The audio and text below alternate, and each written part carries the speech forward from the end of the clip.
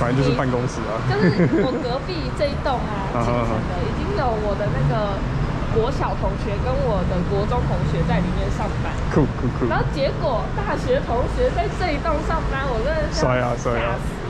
大家都在庆城，是不是？好可怕！因为捷运方便啊。对，我等下发 给大家一个震撼弹。我去买早餐。好了，拜了拜了。